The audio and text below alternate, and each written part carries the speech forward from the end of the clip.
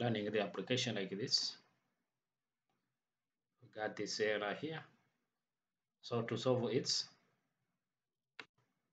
just go to Gradle scripts here and then uh, build the Gradle, this up level, open it.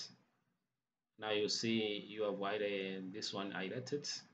So update to and set the compiled SDK version to 33 check any error then click sync now.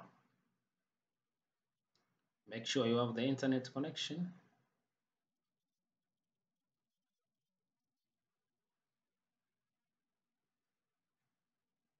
Now you can uh, uh, you can rebuild it or you can run the application like here. And wait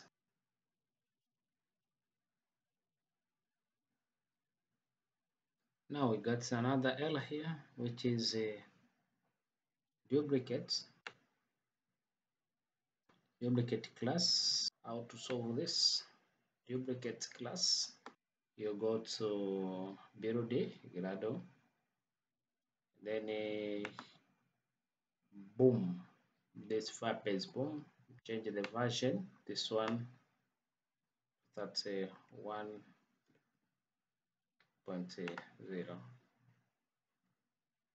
then uh, click sync now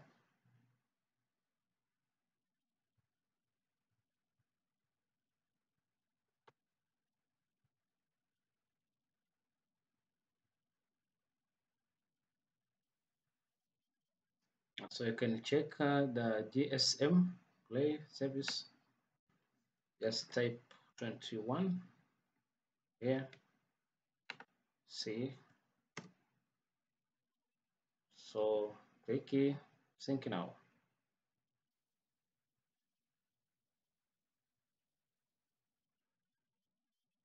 Okay now let us run our application